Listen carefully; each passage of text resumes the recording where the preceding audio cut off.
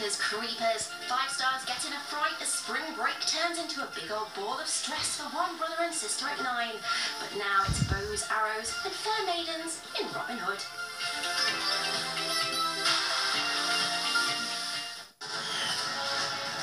Nick Jr.'s Paw Patrol Mighty Pups the movie sponsors movies on Five Star.